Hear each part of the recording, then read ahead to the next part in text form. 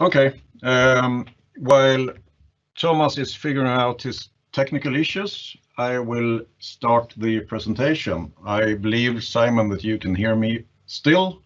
Yes. So we should be live. Um, so we will start off this session actually by um, word from our sponsors. Um, I will turn off my camera to save some bandwidth, of course. So let's have a look. So First of all, uh, I'm Fredrik Brattstig, Tech Evangelist at IGEL.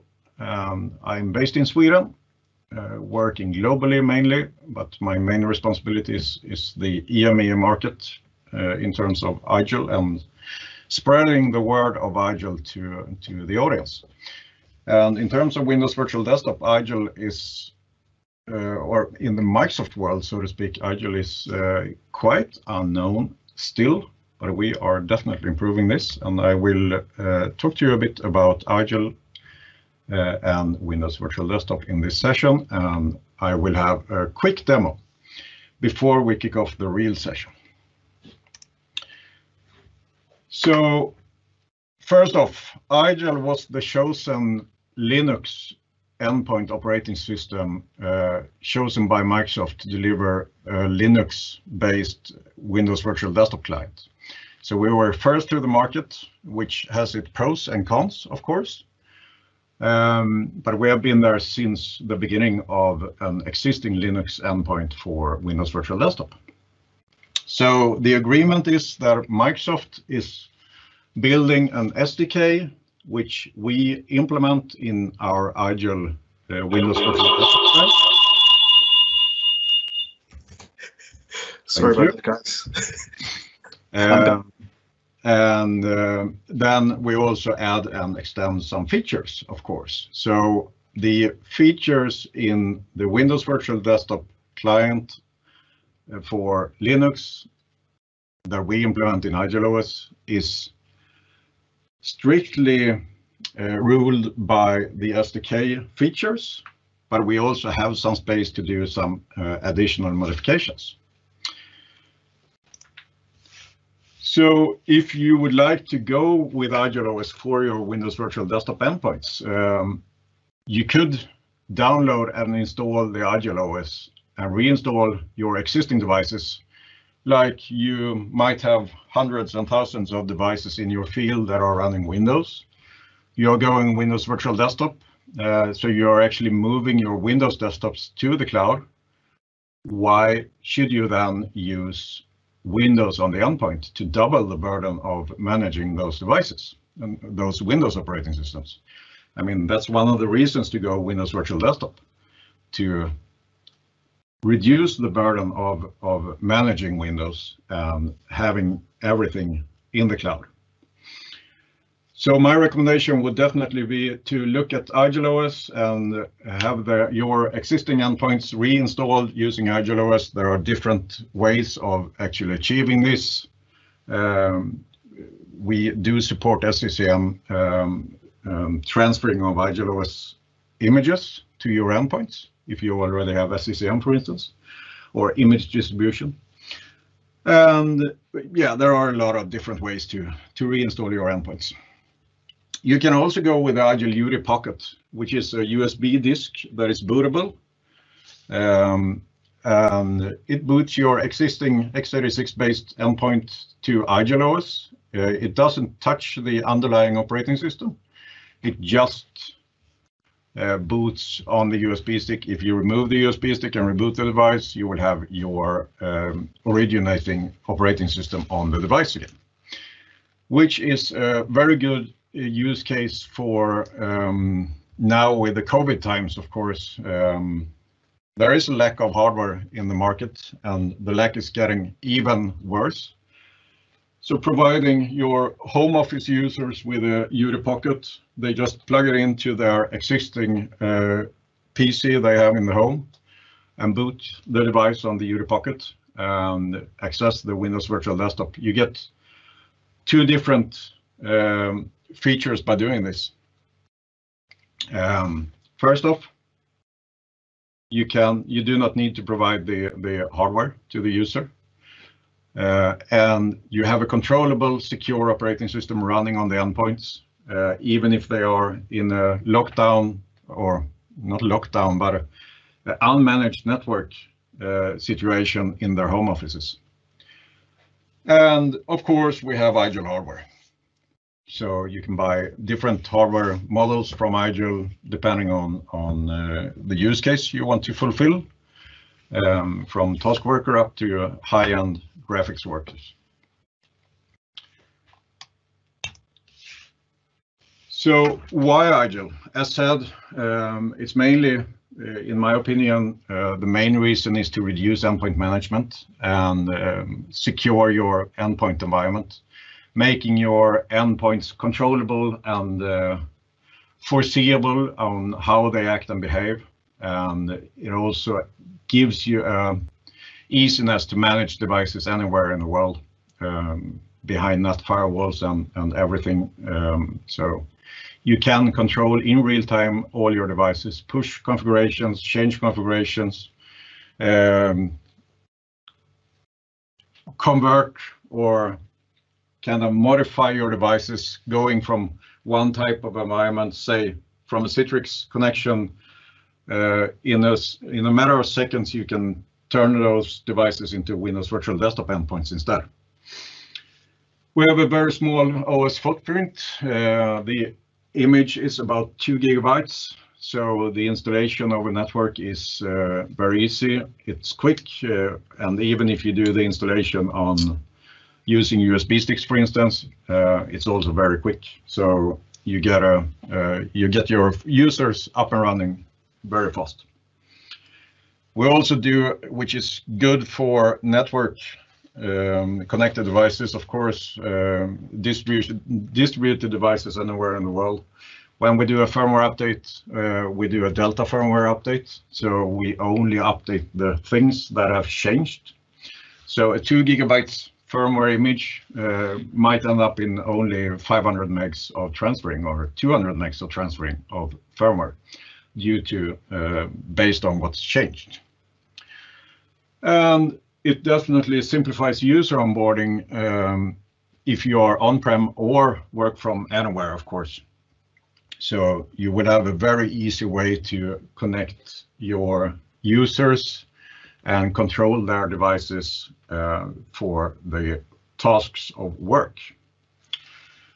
So now we will go for a, a short demo on IGEL and um, Windows Virtual Desktop, just for you to have a, a look into what is what is IGEL as said, there will be a NVIDIA um, presentation directly after this demo. So let's get going. So what do we have? Uh, I open up two windows uh, on the presenter screen where you see one virtual machine currently uh, using IGEL and the other window is the UMS, so the IGEL Universal Management Suite where you do all the configurations of your devices and uh, yeah, control uh, how your users' endpoints should act and react. So as you can see, I have a folder that is called VVD TechFest, where I have one device now. I could have thousands of devices in this folder and uh, attach those um, to Windows Virtual Desktop sessions, for instance. But let's have a look at the IGEL device. Currently, there is no sessions on this device. I have no possibilities to connect to uh, Windows Virtual Desktop. I have no possibility to connect to uh, any type of environment uh, as a user. This device is not locked down. I can lock it down, down uh, so that the user actually cannot do anything else than what they are supposed to do. But let's publish a Windows Virtual Desktop session to this device. First of all, we need to start building one of those sessions, which I will do using the UMS. So I will just name it VVD session.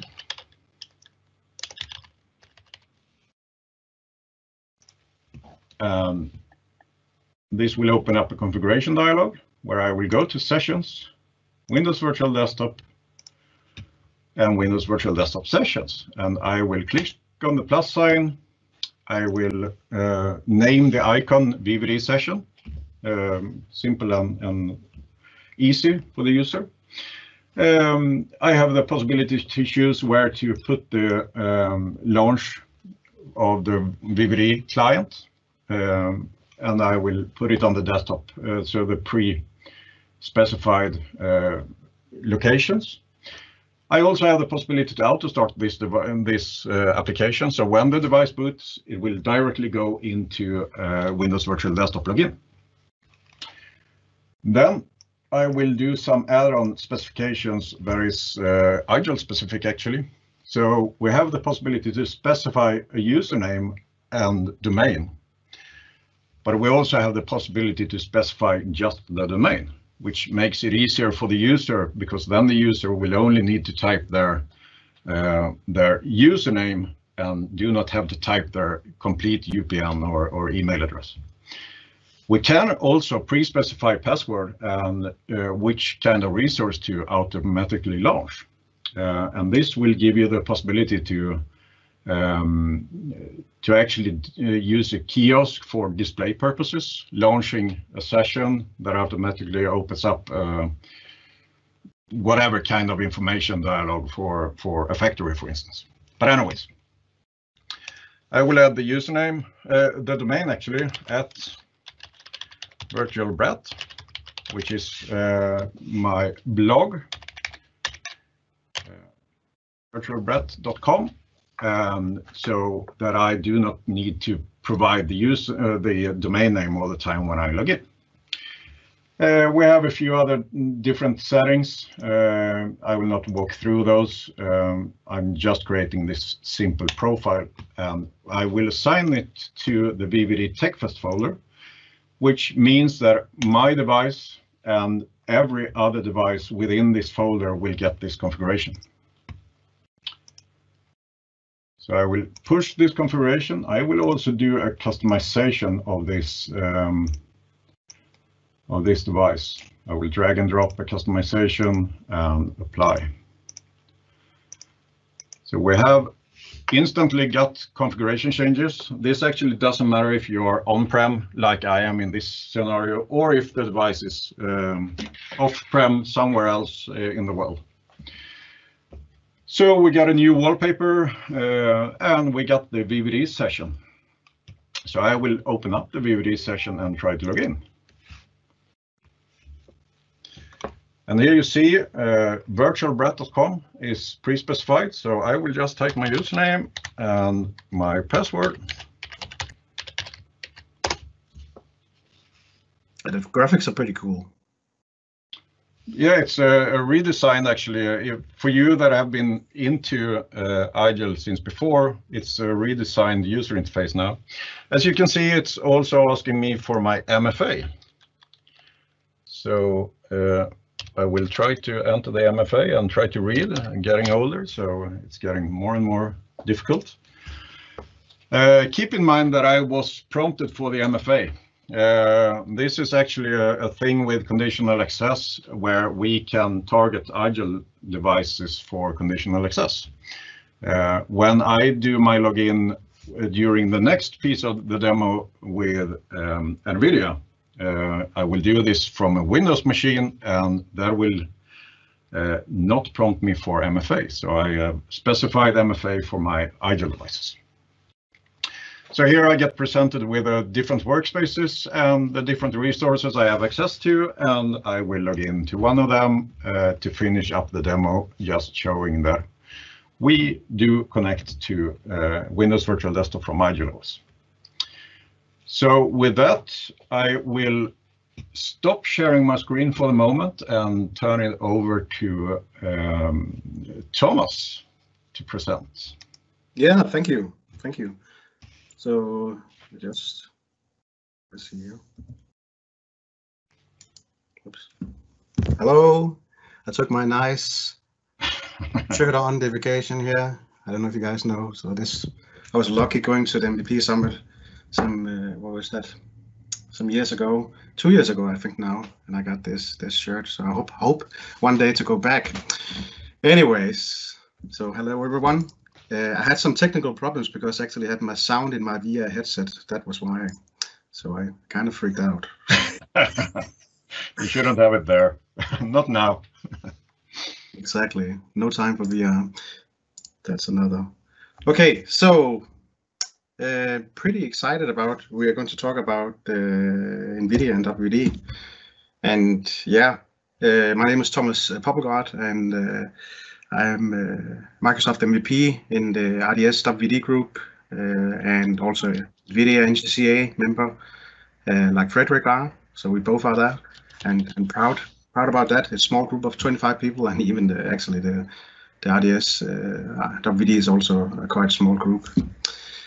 So that's pretty cool, and you can see that you know that T-shirt with that uh, that icon on the dinosaur. That's me. Yeah, I got the T-shirt. I'm wearing it for the today's session. Anyways, so um, we produce a lot of lot of really cool stuff. Uh, it's uh, brand new content we put together. Uh, so I'll be showing that. So it's both content and live demos. We'll be showing here you know, showing uh, accelerated and non-accelerated applications, multi-session environments, uh, more precise WD uh, with you know multi-session Windows 10, but also single-session Windows 10. So let's talk about GPUs.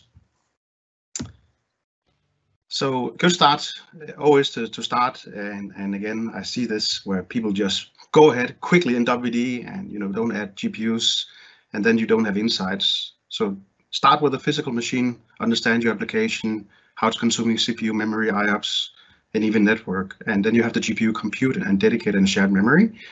Many people look at averages. Maximum actually really important because peak moments is exactly where your user interaction is, is and latency is, you know, where you need that that experience.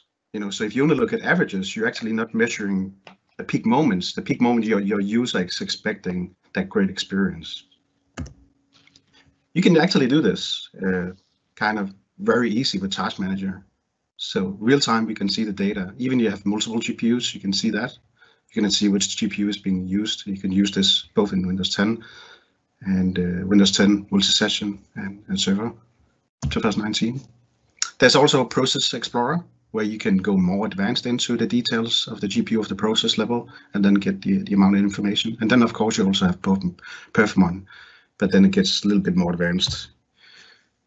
Um, something I think is important is also as, look, as, well to look at all the different layers of the GPU, uh, what they look at, because again, this is where it gets a little bit more difficult on, because there's not so many monitoring tools that actually captures this data. Um, so there are some people in the community that's done some work here where you can uh, look at the kind of information. So, uh, but again, does your application use CUDA? right? Then it's NVIDIA GPU only. Uh, does it use OpenCL? That's proprietary on all the GPU vendors and DirectX, Vulkan, and so on and so on. Quite important things when you go to GPU world. so um, if you look at the GPU compute, we have the uh, memory and the compute level, but it's actually not just that. We also have engines to look at. Uh, engines, a variety of depending on the GPU model you have. So there's both um, decoding and 3D and there's tons of engines. Some engines can be, you know, it depends on, again on the GPU model you have. Then you have the GPU memory where you have shared and you also have dedicated. The shared is together with the operating system as well. So dedicated is the GPU memory of the, what we call the frame buffer. GPU engines can be a lot. So when you're monitoring that, it can be many. This is also important depending on, on which kind of GPU you select uh, based on your, your use cases and your budget, of course. Some of the GPUs have multiple GPUs on the same board, and some GPUs have only single GPUs, which makes a difference, certainly. Exactly, exactly. now, the cool thing is uh, there's actually uh, third-party tools out there that uh, can uh, grab uh, NVIDIA APIs. So they they use the, the the NVIDIA information and the SDKs and the vGPU where they have built the driver sets. So Lakeside has uh, hooks into that, Control Up, Stratusphere UX, Sepago uh, also does that now. That's uh, that's pretty new. Marcel has done a lot of work into that. Um, so hopefully he will share something in this session. I think that's after us. Uh, and then we also have uberAgent Helge Klein. He's been doing that for quite a while, uh, looking inside the windows and, and, grabbing that. And then we also also have EG Innovation. So you have different options, right? If you want to grab uh, data over time with different vendors. And I know some of the vendors are also doing more and more uh, grabbing of this. And you might also see some new vendors popping up here. Um, yes, 2020. We are 2021. the browser was still on. it was not last year. Uh, so the continue war uh, does does definitely go on, and uh, yeah, we can look at that uh, a little bit after. But just to give you some insights here, uh, to be honest, uh, these versions of the browsers they are really different. And yes, Edge and Chrome they came out with newer versions where they're trying be, to be more user friendly, not using a lot of resources. That's great, but you know, end of the day, these applications are really, really hungry because each time they open up a tab, they, you know, it's an application per application per application per application. So, uh, and each one of them are also working different to be honest on, on operating systems. So, uh, which makes it really difficult to predict the behavior on the application. And then we have got Teams. Oh my God, Teams. Teams is another beast. Uh, this application also come out with so many new versions and new functionality and uh, you know then we want to go to the WD and yes you can then do offloading but then it depends on the endpoint you have. So you might get on uh, you know offloading or you don't. So that that, that really points depends on the endpoint because not all endpoints supports offloading. And then you you need to you know what you then do? Because then you have the teams capabilities inside the VM and then it makes sense also to use the GPU to offload that. So Teams, I, you know, I, I know Microsoft is doing a lot with uh, with offloading, but again, customers has different clients where they also don't have the offloading capabilities. So keep that in mind. Also, another thing with offloading is you might not get that feature in in Teams. You know, so we see on physical workstation, Teams get a lot of new features, but then they don't get that feature with the WD optimized.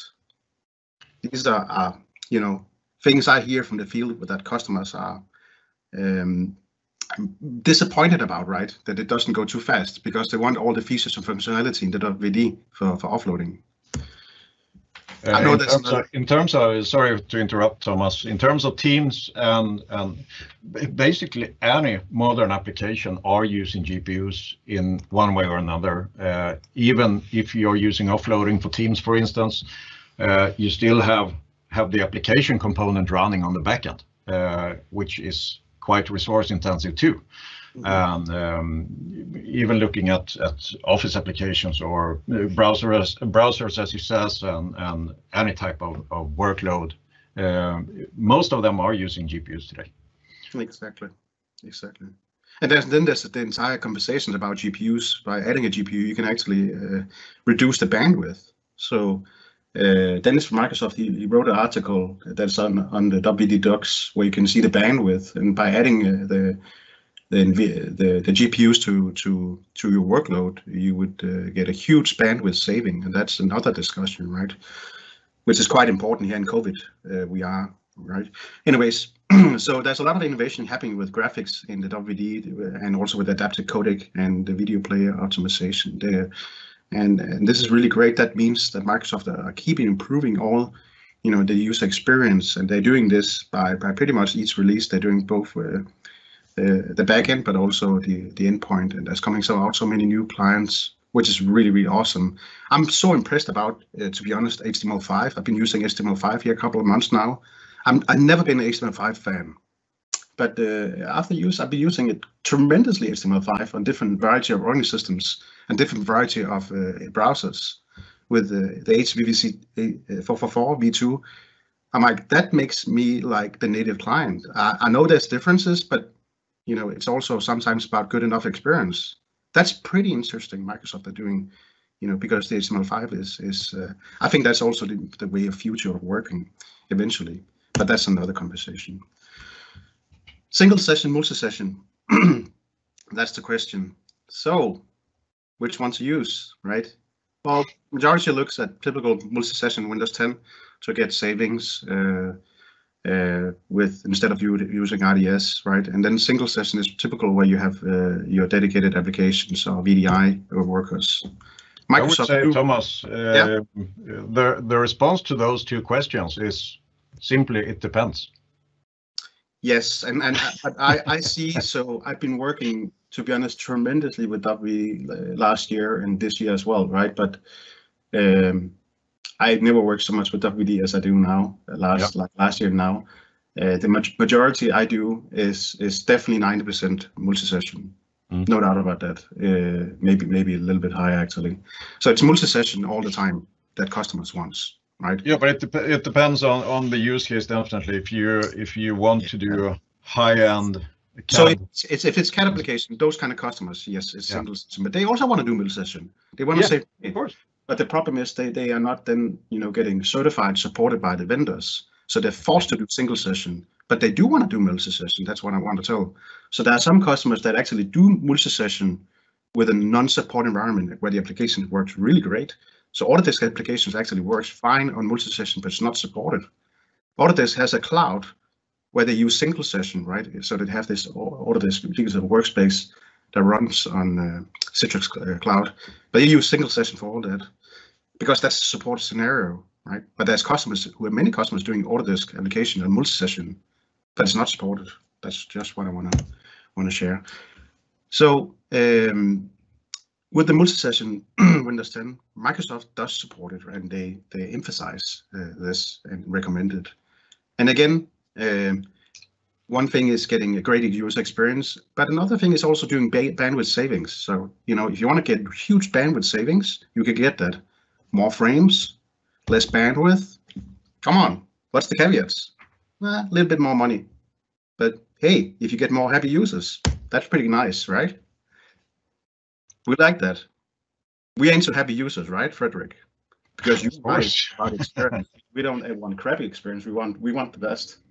And now Fredrik, he's definitely a guy who loves you know to push the system to the max to get exactly you know accepted user experience, defining accepted user experience. Yeah, I mean, that's all about the story and using computers. I mean, having the the user to have a good experience is everything for success in your VDI environment, no matter if you're using VVD or anything else. I mean, if the users aren't happy, you have failed. Exactly.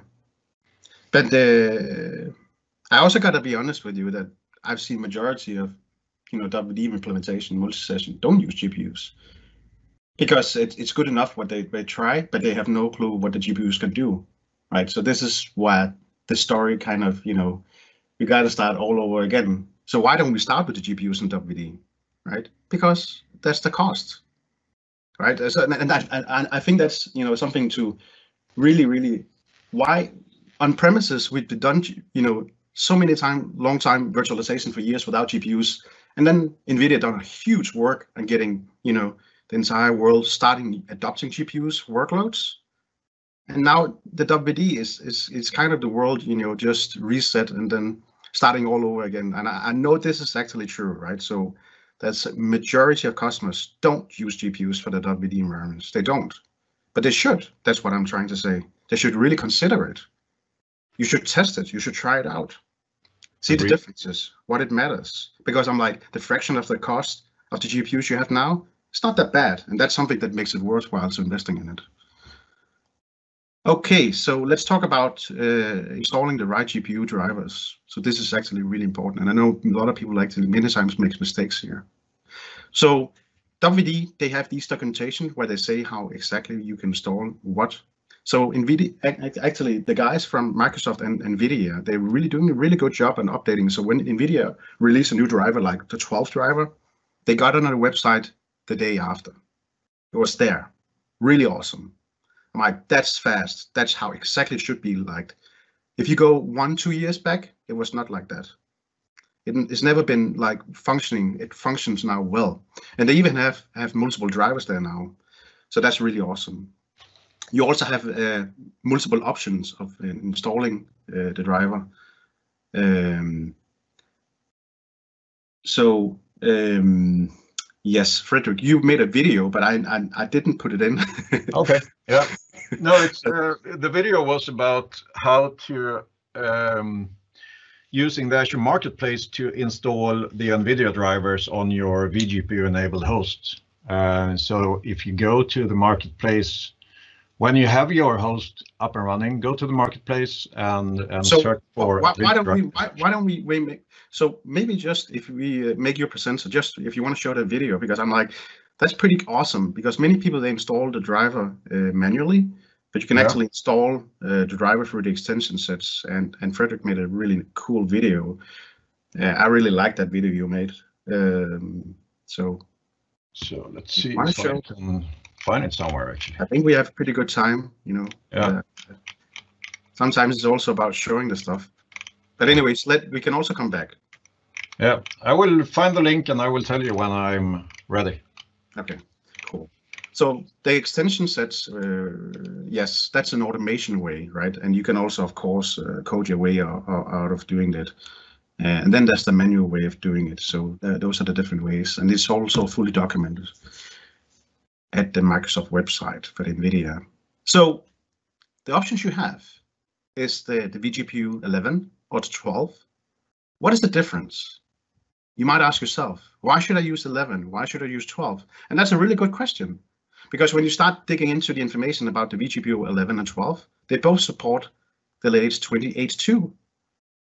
So when you see everything how they support with the operating system, you're like, oh, which driver should I use? You know, I'm I'm a guy who likes, you know, that shines the, the latest chip. So that's the 12 release because that's also there's a lot of stuff coming and and they're changing um, uh, like with the RTX, if you have RTX GPUs, it looks different. But uh, if you look really high level, you can see the 11 is long-term service support branch that's supported until 2023. So that means, let's say you want really stable release, you don't want to touch and you don't want to update your drivers over the next two years, then that driver is your, right? Now, if you want to support and update your environment, you know, uh, frequently, then I would definitely suggest uh, version 12 because that's product brands. All right. You have those two options. GPU acceleration. How do you then enable it? Because when you install the driver, uh, Fredrik, did you had to? Did you you want Yes. to show?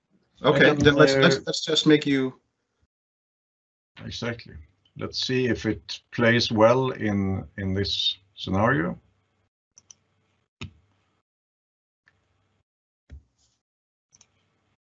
Uh, so let's see if I can share my screen again. There we should go. And I play the video and uh, Thomas, tell me if it doesn't play through well. Well, can you make it full screen, please, in the video? And then increase the quality as well. Is it HD?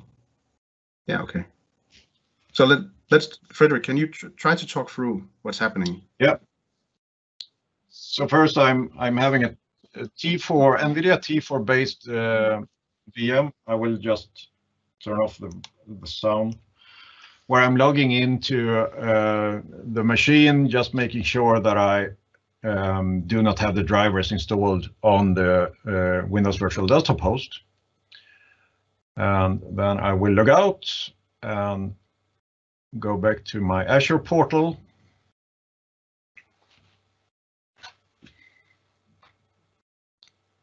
There we go. And let's see, it was quite some time since I since I um, did this. So let's see.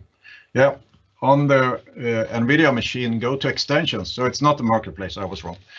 Go to extensions and uh, go to the NVIDIA GPU driver installation and click create.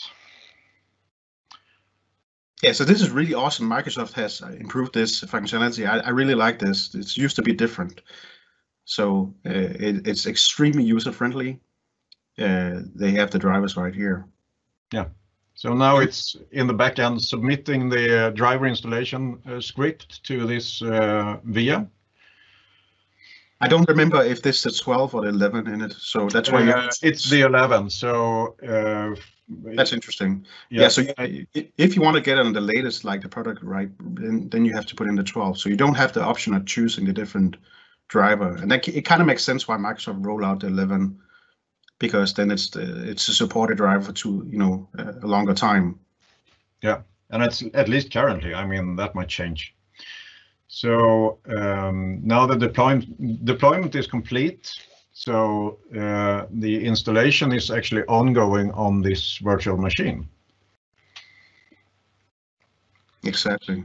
Uh, so, so if you cool. want to have full control of the drivers installed, you should do it manually on the WVD hosts, of course. Yeah, but if, if you like want this is if you're lazy, yeah. you can sit at the beach, you know, drink your drink, drink your beer, or stay in the garden. Stay in the garden for me. But after five, not before five.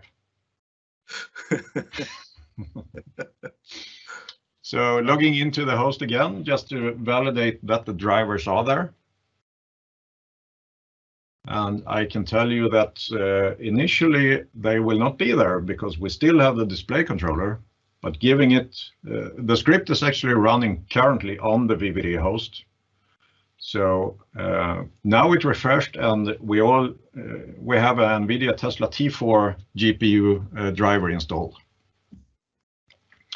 So this was done automatically using the extensions of the, of the VM.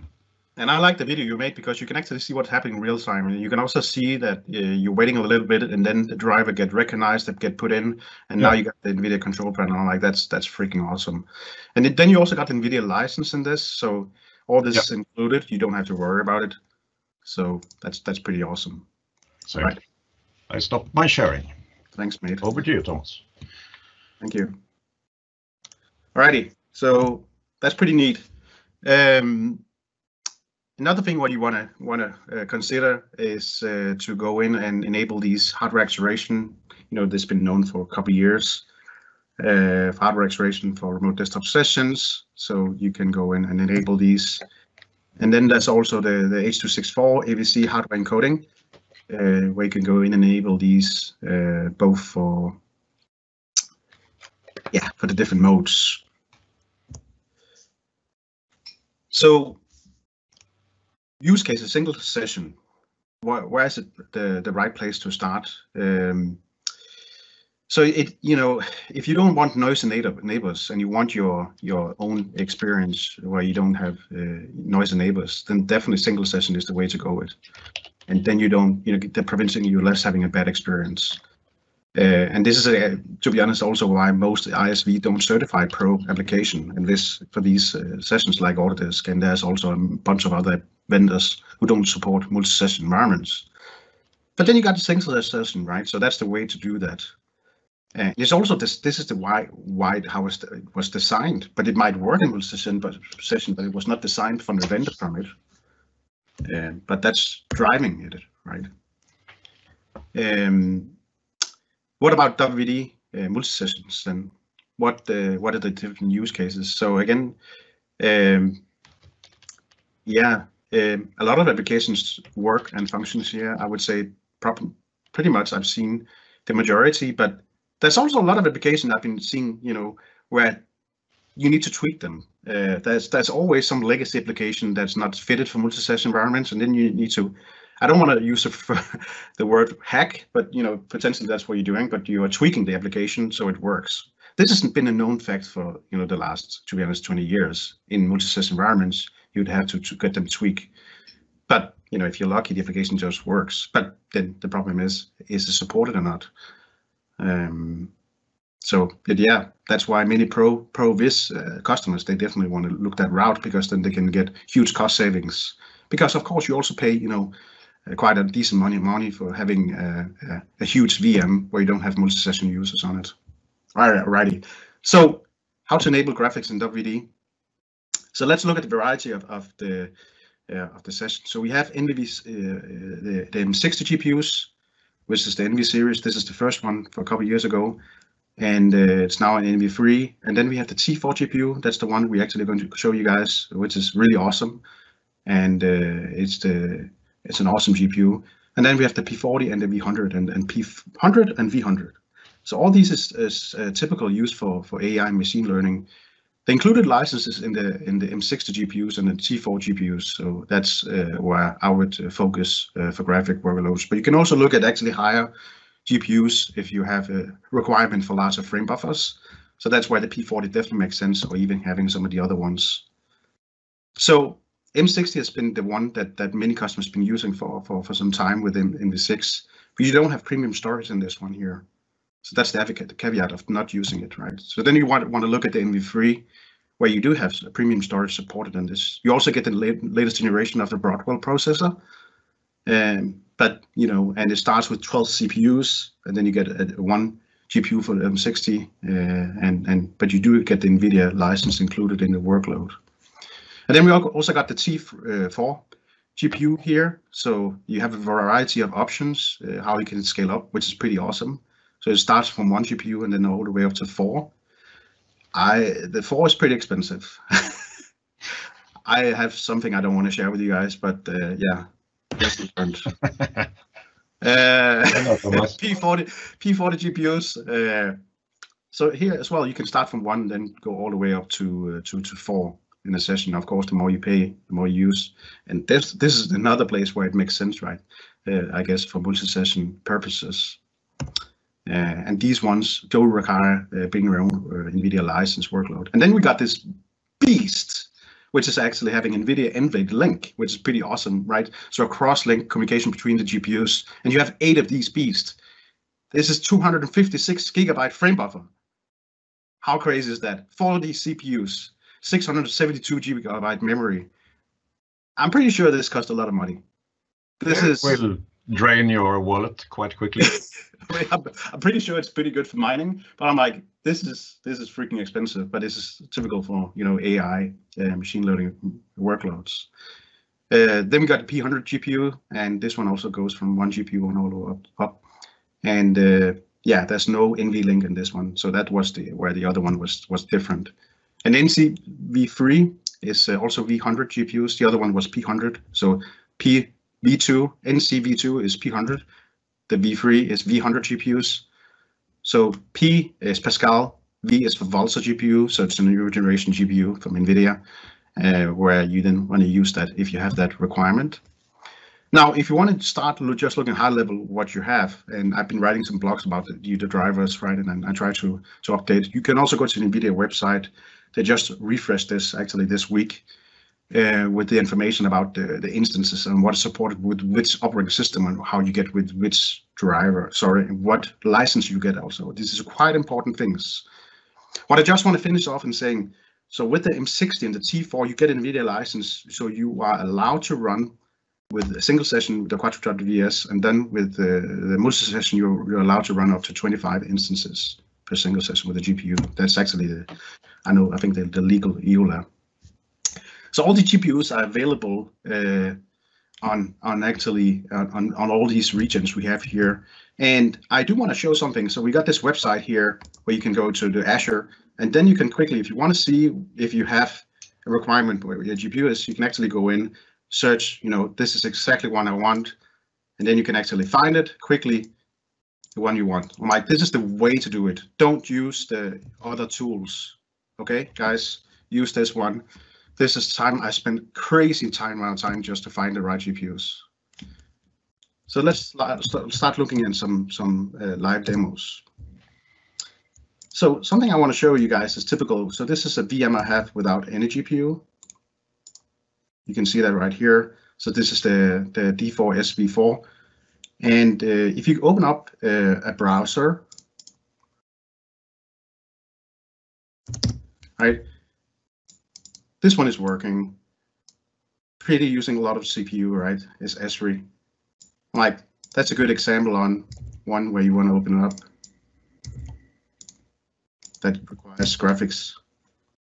Oh, oh, your browser isn't using hardware acceleration for rendering. We cannot use work. So there are actually a website that doesn't work.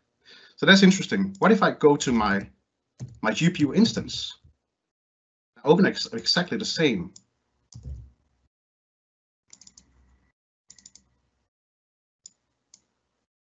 Got my task manager.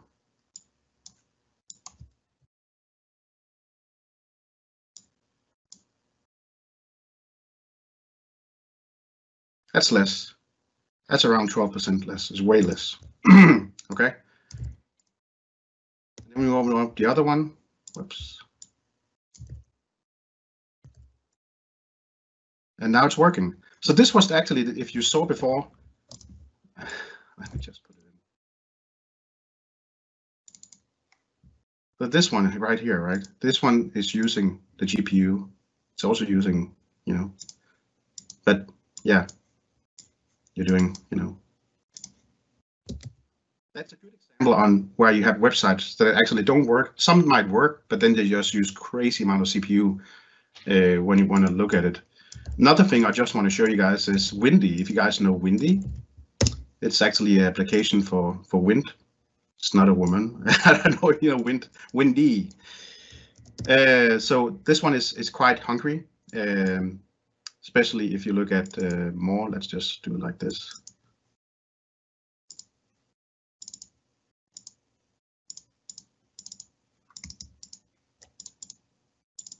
Oops, there we go.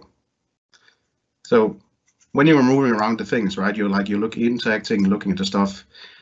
It's it's okay, but I I still see like it's not like there's a difference when you work in a GPU, and of course there is, right? You're like that that's what you're paying money for, uh, and also what how the applications were built.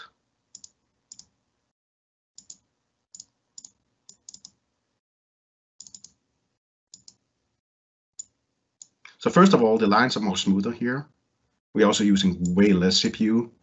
And even when I move around the, the, the mouse, it's just super fast responding. And that's because it's offloading. This application is made for that. All right. So let's move over to you, Fredrik, because I know Yeah. we don't have much time.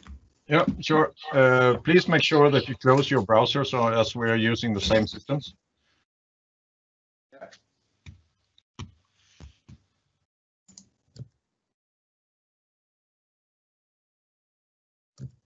Perfect. And I will share my screen again. And uh, I will do more or less, um, I, I'm using the same multi-user uh, WVD hosts as Thomas, and I will log into, um, first off, uh, this is the same device as I connected to from my IGEL device, and I did not get a multi-factor authentication. Um, so let's open up um, just a task manager and open up a YouTube video where YouTube is not the best example, definitely. Uh, we have a lot of advertisements. So we are playing. It's actually it's it's actually destroying your your your teams. How It is, yeah, maybe it is. Um, anyways, um, it plays pretty smooth. Everything is quite fine. Um, the CPU loader is actually not that bad. Um, but yeah, it can certainly be better. Uh, and let's have a look at a different thing. So this is without NVIDIA GPU. This is just a CPU uh, powered machine. I will open up FBX Review, which is an app where you can um, look at 3D models and um, just the ready rendered uh, model.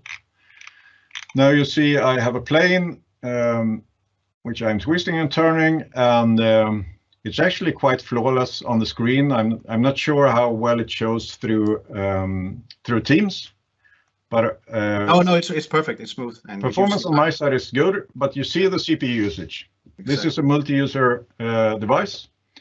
Having uh, 10 users at the same time would definitely affect your users. So let's do the same thing on um, a GPU-enabled device. Um, let's see, sorry, the wrong one. Open up Task Manager again, just for the sake of it. Playing the same. I did notice you have the 3ds Max running, right? So that's running in the background. Yeah, it is. As you see, the GPU is working, not very hard, but it's working. The CPU is quite calm, I would say. So it will increase the performance and the, the user experience of the video is way better. uh, open up the same FBX review application. And this is where the GPU kicks in. So you can see the CPU is currently at 25%. The GPU is working. Uh, the user experience for me is 100% flawless. Uh, it's uh, so smooth when I twist and turn the, the airplane. So uh, there you definitely see a, a good benefit of uh, hardware acceleration uh, in terms of graphics. Switch to 3D Studio Max as the last uh, demo.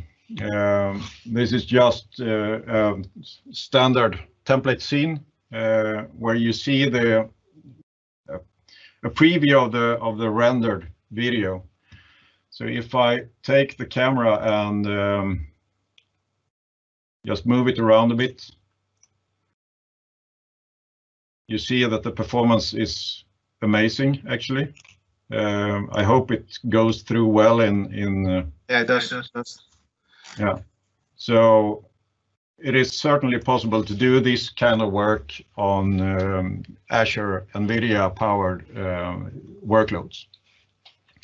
So I would say that is a wrap up.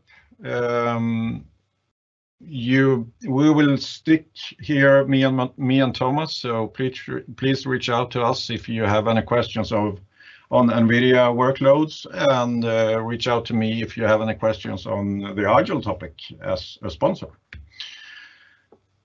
So with that, Thomas, I think we are closing down. Yeah, yes. we are. We are. So thank, thank you guys for, for joining our session. We really appreciate it uh, that you guys been been uh, been joining our session. So we just want to you know show here that the two guys, the Danish guy and the, the Swedish guy, doing this great session. So okay, thank you for doing it. It was really fun doing it together with you, Fredrik. Yeah, same to you, Thomas. Uh, sadly, we didn't do the Fortnite demo, but yeah. Uh, we do some really recording and then. Yeah, I, I think actually Freek did Fortnite demo as well. Maybe it did. Uh, yeah, I think so. Uh, but thank you so much for for being here and for sharing this. And I, I do hope, like like you mentioned, I think most of the organizations I work with have never like thought about using GPUs in just general purpose machines uh, and and haven't realized the value of that. Uh, so I hope that this will inspire organizations to create a better user experience using NVIDIA GPUs. Certainly. And uh, like Fredrik said, um, Thomas and Fredrik will be hanging around in the live event for a few more minutes. Uh, and then you can, of course, reach both of them on social media uh, for any follow-up questions and so on. Uh, most of their contact details should be on the WVD um, page.